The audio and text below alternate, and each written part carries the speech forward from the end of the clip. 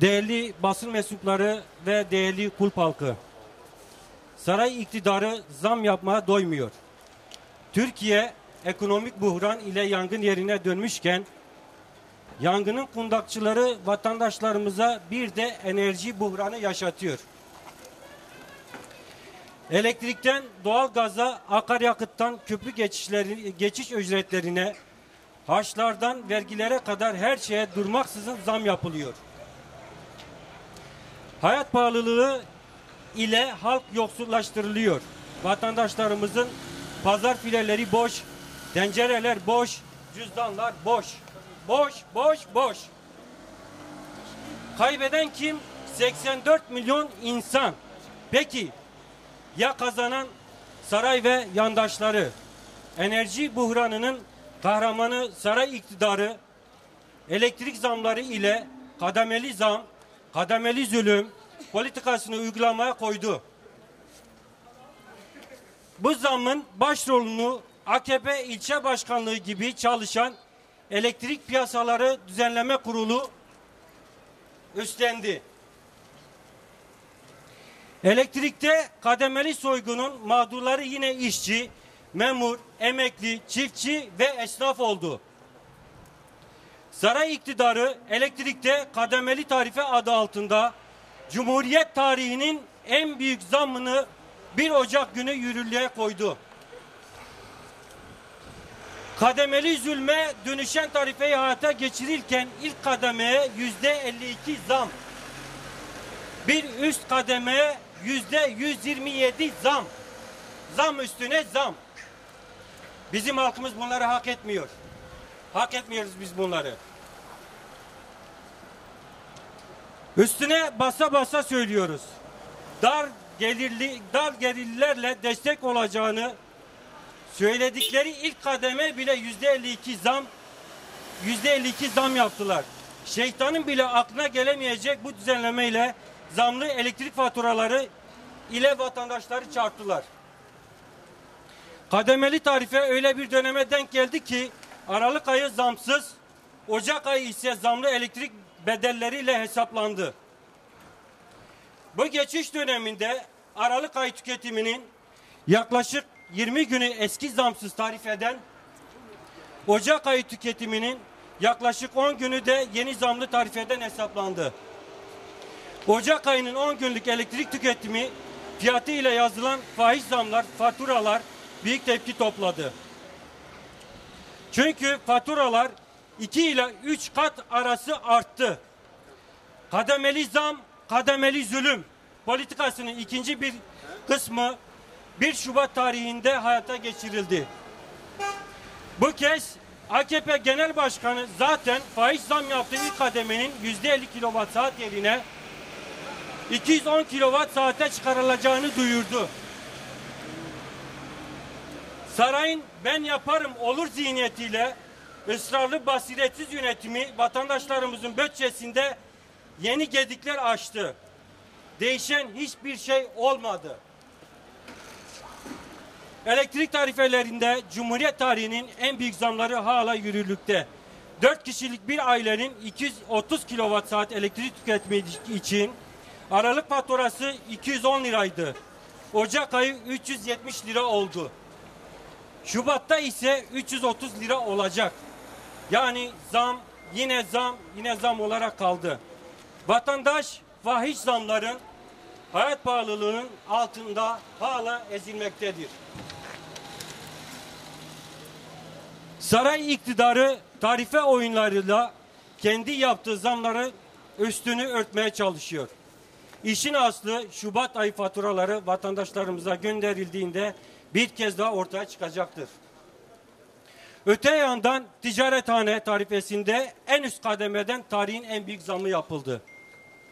Biz de halk olarak söylüyoruz ki elektrik insan hakkıdır. Ulaşılabilir ve insani yaşam koşullarında ödenebilir bir ücreti olmalıdır. Biz de bir parti olarak vatandaşlarımızı yaşadıkları enerji buhranından çıkaracak acil uygulamaların derhal hayata geçirilmesi çağrısını yapıyoruz. Kara kış fonu derhal kurulmalı ve dar gelirli vatandaşlarımıza fatura desteği sağlanmalıdır. Elektrik ve doğalgazda faiz zamlar derhal geri çekilmelidir. 2021 yılının tarifelerine geri dönülmelidir. KDV, ÖTV'nin hiç değilse kış aylarında sıfırlanmalıdır. Aralık 2021, Ocak 2022 döneminde vatandaşlarımızdan tahsil edilen yüzde 127'ye varan faiz zamlı elektrik tüketim bedelleri iade edilmelidir. Aynı şekilde yıl başında sanayi elektriğine yapılan yüzde 130, ticarethane tarifesine yapılan yüzde 125 ve tarımsal sulamada yapılan yüzde 95 oranında zam, zamlar derhal geri çekilmelidir. Halkımıza bir kez daha söz veriyoruz. İktidarımız da ekonomik buhrana da enerji buhranına da tümüyle son verecek. Tüm adımları atacağız. Bu zor günleri hep birlikte geride bırakacağız. Aydınlık günler hep birlikte kuracağız ve başaracağız.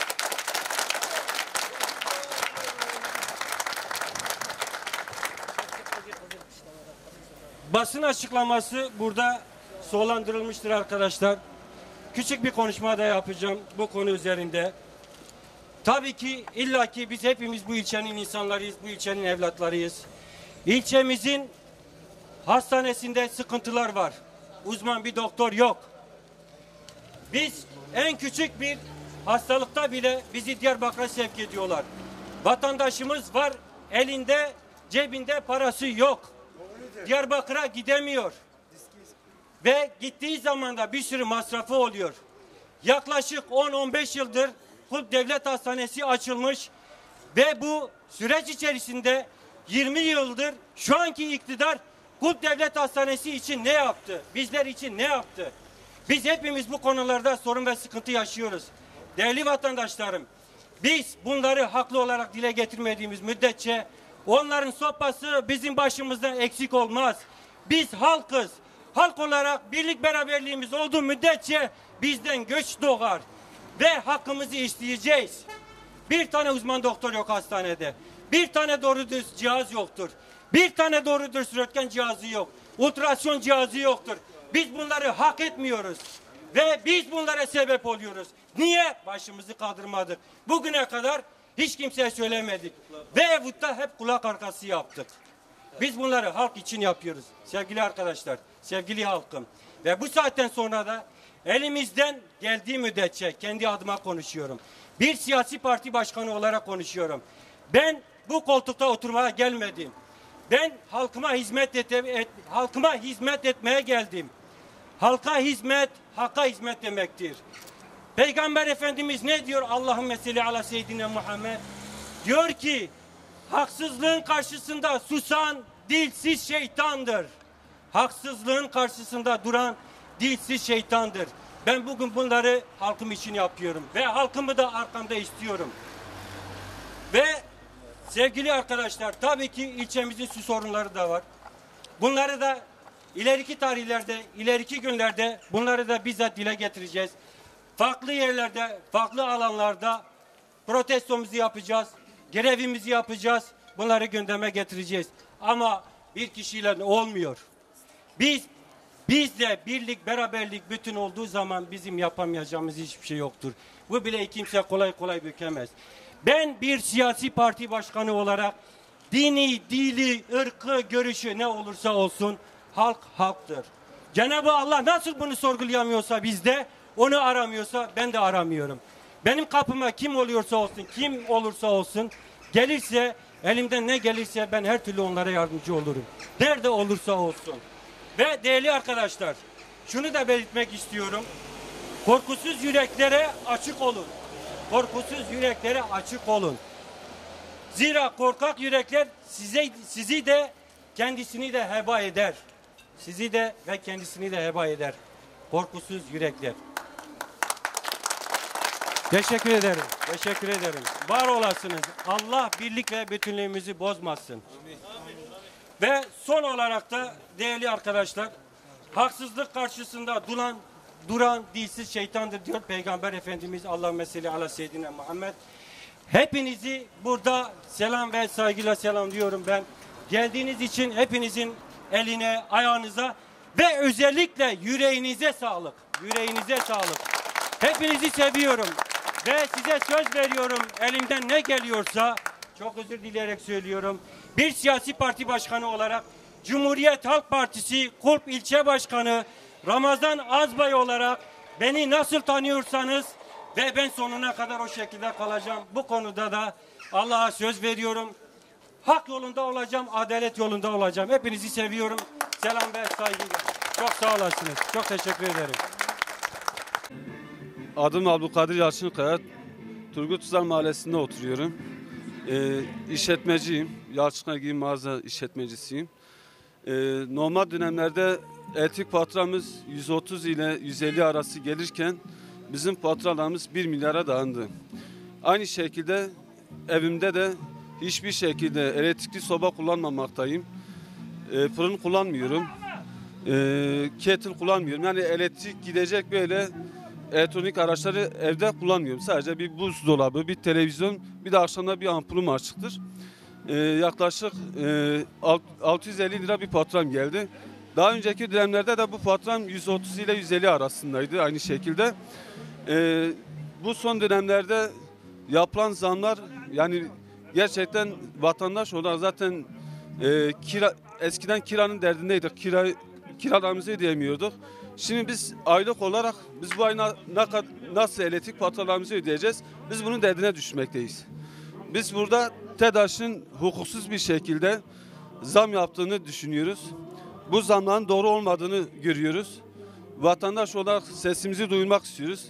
Ee, siyasi milletvekillerimiz bunu görsün yani vatandaş zaten e, ekonomik krizin içerisinde vatandaş faturalarını ödeyemiyor, geçinemiyor. Bir çözüm bulmasını istiyoruz. Söyleyecek Ha, Ben Erhan Alsaç, ayakkabıcıyım. Kendimi tanıtayım. Yani eve gelen, dükkana gelen fatura, daha önce kira derdindeydim, şu anda elektrik derdindeyim. Yani ödeyemiyoruz. Yetkililerde yani bir rica ediyoruz buna bir çare bulsunlar, artık yeter. Yani yapamıyorlarsa yapmasınlar. Teşekkür. Ben vatandaş olarak Mahmut Altınkara. Bir vatandaş olarak da benim gelen bu, bu ayki elektrik 500 TL ve iki kişi olarak evde yaşıyorum. Ve içeride herhangi bir televizyon ve eee, çamaşır makinesi bir de buzdolabı dışında herhangi bir araç kullanmıyorum. Bana gelen faturayı ben itirazda bulunmak istiyorum buradan da ve ayrıca de ben eee, itirazda bulunacağım. Yani vatandaş geçinemiyor. Zaten her şey aldı başını gitti. Evde ışıkları açtıramıyoruz. Saat 7 oldu mu uyumaya çalışacağız. Artık bu bu dönemde şu anki yaşadığımız dönemde insanlar tavuk haline geldi. Saat 7 oldu mu herkes uy- uyuyacak gibi geliyor bize. Biz artık yani elektriği kullanamıyoruz. Faiz fiyata geldi her şey. Zaten geçinemiyoruz, çalışamıyoruz, işsizim. Yani bulanımdayım ben. Yani bunu sadece ben yaşamıyorum bunu. Herkes ekonomik krizde. Buna bir çözüm bulmalarını istiyoruz. Devlet yetkililerimizden el uzatmalarını istiyoruz. Bu şekil olmuyor. Bu zamların geri çekilmesini istiyorum. Ben de söyleyecek bu kadar. Ben Cuma Yerlikhan, Kulp ilçesinde oturuyorum. Yalnız bu 31 Aralık'ta gelen adıma 3 fatura 4400 olarak. Bunu ben kanıt olarak da gösterebilirim. Ben bunu protesto ediyorum.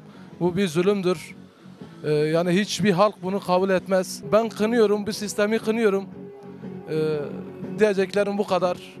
4400, 3 fatura adıma 4400 bu ay gelmiş. Kınıyorum. Teşekkür ediyorum. Kolay gelsin. İlçede oturuyorum. Yalnız bu fahiş fiyatlarının bir an önce önüne geçmesi gerekiyor. Çalışmayan insanlar var, mağdur insanlar var.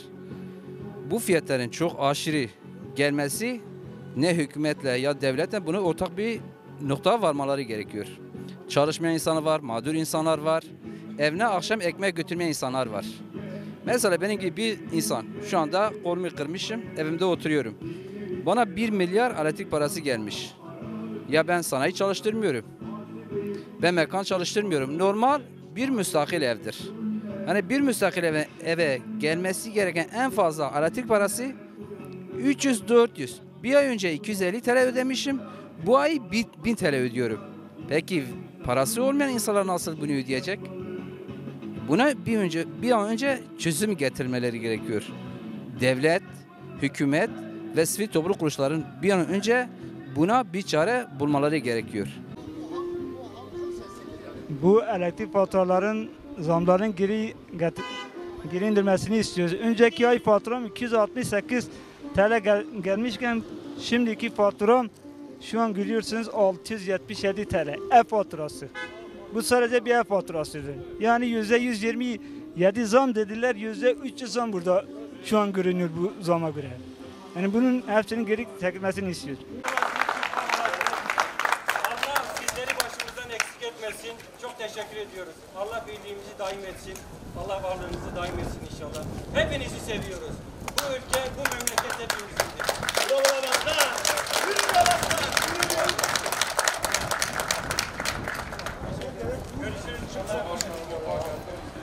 Thank